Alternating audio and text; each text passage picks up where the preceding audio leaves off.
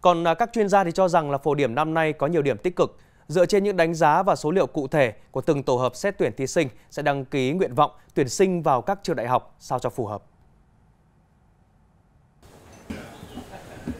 Theo dữ liệu điểm thi Bộ Giáo dục và Đào tạo công bố 0 giờ ngày 24 tháng 7, hiện tượng mưa điểm 10 năm nay không còn xuất hiện.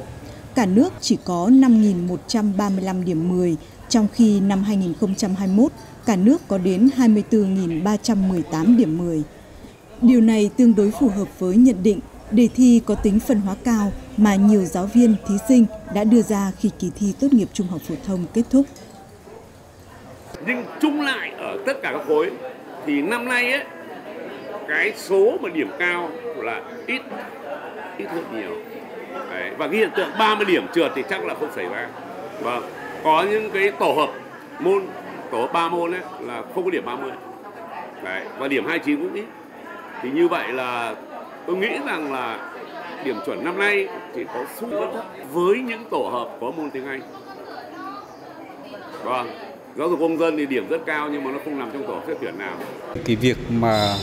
thay đổi cái kết ra đề để chúng ta đánh giá học sinh về môn lịch sử đã có những chuyển biến rất tích cực. Thì cho nên kỳ phổ năm nay nó khá đẹp và tôi cho rằng đây là một cái điểm mà đáng ghi nhận. Thứ hai đấy, năm ngoái đề tiếng Anh phân tích theo hình chuông và trong tôi cũng cả có ý kiến về việc này.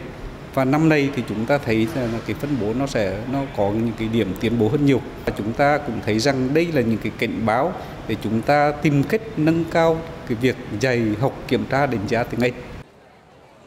Theo các chuyên gia, đề thi phân hóa cao hơn nên phổ điểm năm 2022 có giảm so với năm 2021. Những ngành năm 2021 có mức điểm chuẩn trên 24 điểm thì năm nay có thể giảm từ 0,5 cho đến 1 điểm. Những ngành năm 2021 có mức điểm chuẩn dưới 24 điểm thì năm nay có thể giảm mạnh từ 1 cho đến 1,5 điểm. Thì à, các bạn thí sinh cũng đã à, biết được điểm à, của mình và theo các cái ờ, nhận định chung thì ờ, khả năng điểm của năm nay sẽ có thể có thấp hơn so với năm ngoái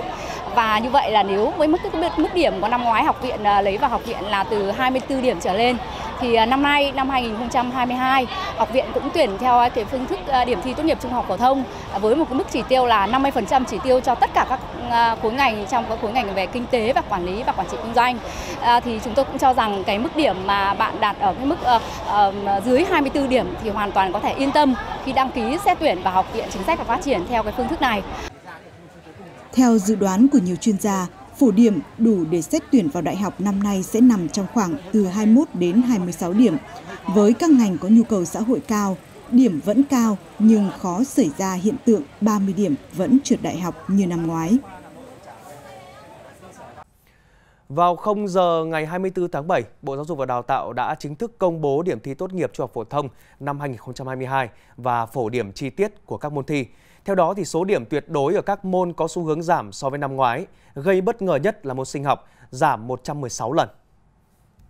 Đặc biệt, môn lịch sử năm nay có số lượng điểm 10 tăng vọt từ 226 năm 2021 lên 1.779. Các môn còn lại cơ bản giữ ổn định như những năm trước.